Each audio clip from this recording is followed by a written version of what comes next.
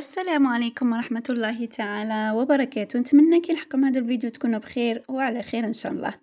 اليوم جبت لكم نوع من أنواع البريوش. هذا البريوش المميز اللي يجي بنين بذوق القرفة وهو بريوش السينابون. يجي شباب شباب شباب وهو بنين وكثرتها في فصل كي يبرد الحال ولا في فصل الشتاء يجي بنين هو كي تاكليه لازم يكون شوية دافي مع هذيك la sauce واش نقول لكم؟ يشهي يشهي يشهي.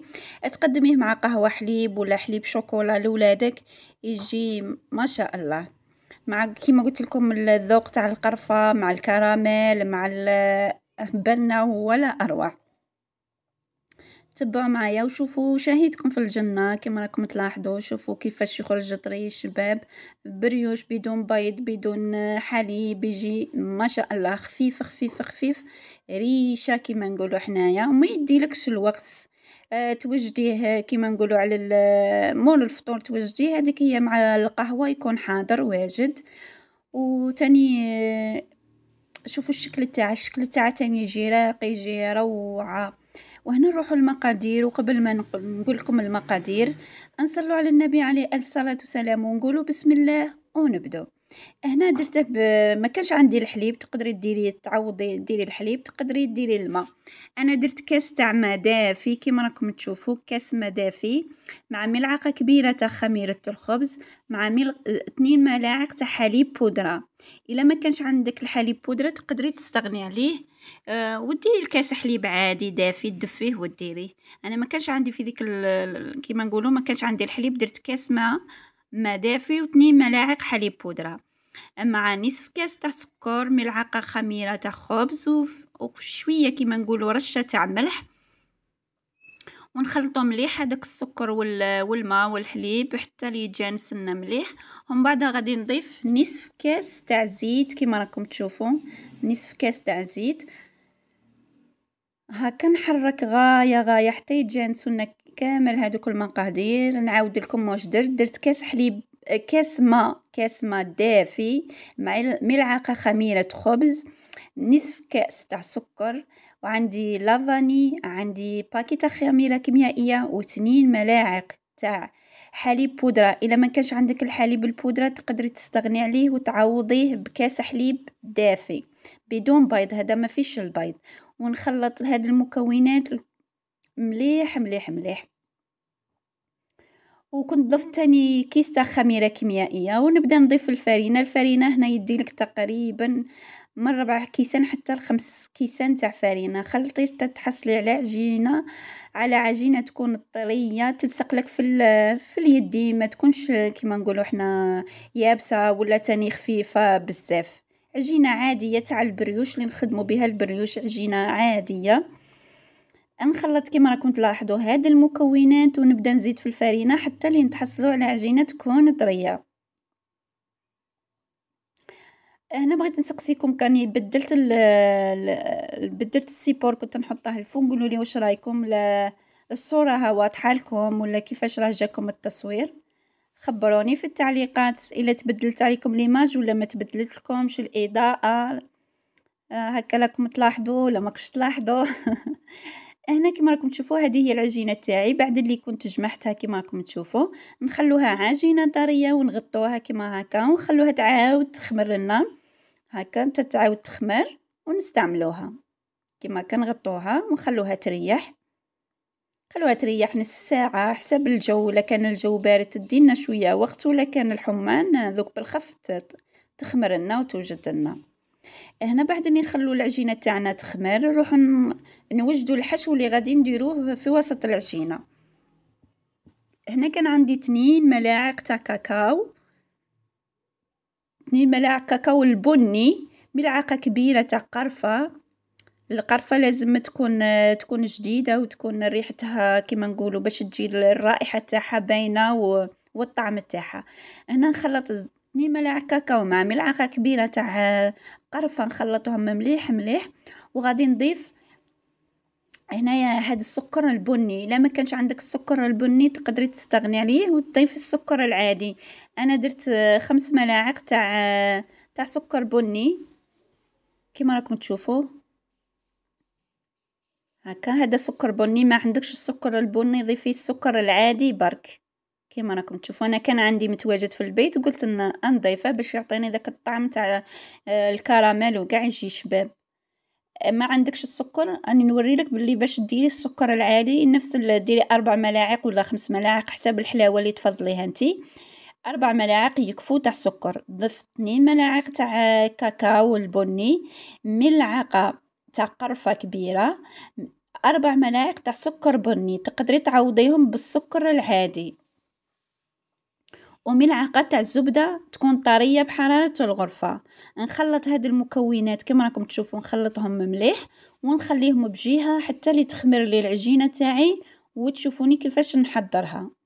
هنا نخلي العجينة راها تخمر والخليط بجهة ون هنا بعد اللي خمرت لي العجينة كما راكم تشوفوا هذيك العجينة. ندير في سطح العمل ندير شوية تاع فرينه كما راكم تشوفوا ونحلها. نحلها بسمك يكون رقيق. هكا نشكلو على شكل مستطيل كما هكا كما راكم تلاحظوا. شكل طولي كما هاك. نحلها مليح ولازم نديروها رقيقة باش ما تجيناش معجنة وطيب لنا غاية. كما هكا. هاكا نحلوها غاية غاية. والعجينة كي تكون شابة تسعفك تجي ما شاء الله هاد العجينة. ما تدي لكم لا وقت لا حتى حاجة وتجي بنينة بنينة بنينة بنينة بزاف بزاف بزاف بزاف. نتمنى تسيوها وترجعوا لي في التعليقات. كيما هكا. نحلوها قاع مليح. ما تنسونيش الاشتراك في القناة وتفعيل الجرس واللايك والتعليقات المحفزة اللي تخلينا نكملو مع بعض إن شاء الله. كما راكم تلاحظوا كما قلت لكم لازم العجينة تجي آه، رقيقة ما تجيش خشينة. هكا حليتها بهذا الشكل كما هكا شكل مستطيل كما راكم تشوفوا. هكا.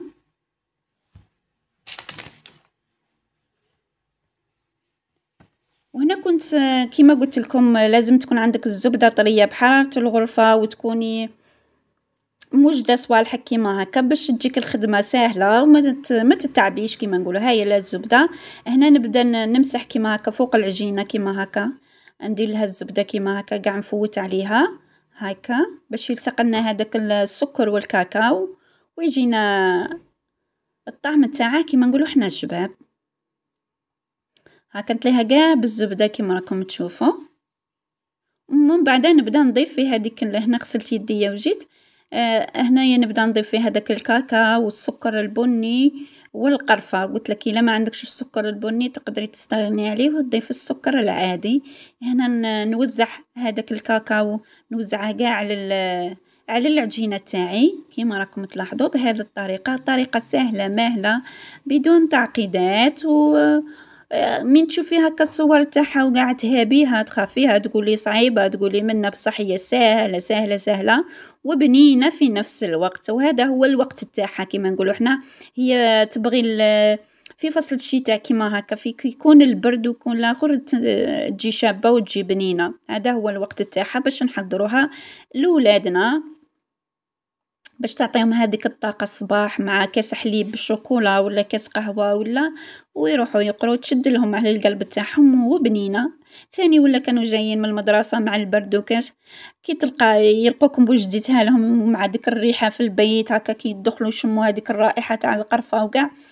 آه ما شاء الله واش نقول لكم؟ أنا كيما اليوم أنا كي خدمتها البيت على بالكم ولا من برا تشمي ديك رائحة هذيك القرفة وهذاك.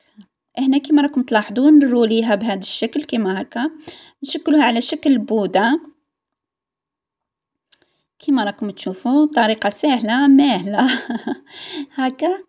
نرولوها مليح ومن بعد نقسم البودة تاعي باش يجيني التقسيم تاعها سهل. قادرة تقسميها بالخيط باش يجيك متساويين ولا تاني بالسكين هذا تاع المنشار. تاني يجيك شباب. أنا كنت غادي نديرها في هاد المول آه، جاني كبير. كنت بدلت المول درت واحد شوية صغير عليه ما جاتني شغل آه، جاني هذا كبير بزاف. كنت ستفتها فيه وما كملتش جاني كبير بدلت السني دوك تشوفوني السني اللي درت فيه كيما هكا. هنا نبدا نقطعها كي, كي بهذا الشكل قلت لكم تقدري تقطعيها بالخيط باش تجيك كيف كيف متساوية. تقدري تقطعيها تاني بالسكين ديري جوج صباع كيما درت أنا دروك وتقطعي ولا تاني عينك هي ميزانك. تاني غير بعينك هكا تحدي وت... وتقسميها وت... تقسميها بهذا الشكل كيما هكا. ما تغبنك ما والو العجينة تجي شابة هاد العجينة وتجي كي طيب تاني تجي هشيشة هشيشة وخفيفة. زعما ما تجيش من داك البريوش اللي يجي يتعلق ومعجن تجي ما شاء الله. والصورة كانت واضحة تبان لي كي شفتوني. هنا كيما راكم تشوفون نديرها في السني هكا ونخلي شوية مسافة بين الحبة والحبة دوك نعاودو نخلوها تزيد تخمر للمرة. الثانية هنا هو ال moule اللي بدلت فيه ال moule هذا ال carré المربع. وما لصقتش الحبات حدا بعض درت باش نخلي مسافة باش كي تعاود تخمر لي آه، ما يلصقوليش هكا مع بعض. ودرتها ومن بعد نطيبوها على مية وثمانين درجة وحتى كي تحمر لنا كيما قلت لكم نجبدوها من تحمر لنا من الفوق وتجي اللون تاعها ذهبي نروحو la sauce اللي غادي الصوص هذه اللي نسقو بها ال brioche تاعنا وهو brioche السينابون. آه يجي شباب هنا واش درت؟ نصف درت ملعقة صغيرة تاع الزبده ملعقة كبيرة ولا زوج حبات تاع فرماج تاع المثلثات ولا عندك آه المهم فرماج تاع الطلي ونصف كأس تاع آه سكري غلاس ونبدا نزي نضيف الحليب كما راكم تشوفون نضيفو بشوية ونخلطو حتى نتحصلوا على على كريمة. وضفت تاني اثنين ملاعق تاع حليب البودرة. إلا ما كانش عندك الفرماج ولا حليب البودرة تقدري تستغني عليهم وديري غير الحليب وسكر غلاس تخلطيهم كيما الكلاصاج وتخدمي به هكا نبسط عليك الأمور باش ما تقوليش ما عنديش حليب بودرة ما عنديش الفرماج ما عنديش ديك ما عنديش ديك. تقدري غير بسكر glace والحليب وديري كي ال glaçage وت... وتسقي به ال... ال brioche تاعك. كيما راكم تشوفوا كيما هكا. نتحصلوا على هذا الخليط. أنا واش درت هنا؟ نعاود كل المقادير درت 2 ملاعق حليب بودره ملعقة كبيرة تاع فرماج تاع الطلي ودرت ملعقة صغيرة تاع زبدة ونصف كاس تاع سكر غلاس والحليب. وبديت نخلط بالحليب الحلا تحصلت على كريمة تكون شوية ثقيله وهذا هو القوام تاعها وها هو آه، رانا خرجناه من الفرن. شوفوا ونضيفوا عليه هذه الكريمة كيما هكا. شوفوا الشكل تاعها. ونقدر تاني نقول لك تقدري ما تسقيش كيما هكا شغل غير بالحبة هكا تجبدي لهم تسقي لهم وتخليه شغل وين تبغي تستهلكي منه تسقيه. أنا مع اللي كنت غادي يتقهووا به سقيته في السني كيما نقول هو عاد عاد دافي وسقيته وضفت له الكراميل من الفوق وهذا هو الشكل تاع النهائي. وفي الأخير نتمنى الوصفة تكون عجبتكم وتسيوها خفيفة ظريفة. وما تنسونيش برك الاشتراك في القناة تفعيل الجرس واللايك. وفي الأخير نقول لكم مع السلامة إلى الفيديو القادم إن شاء الله. دمتم في رعاية الله وحفظه.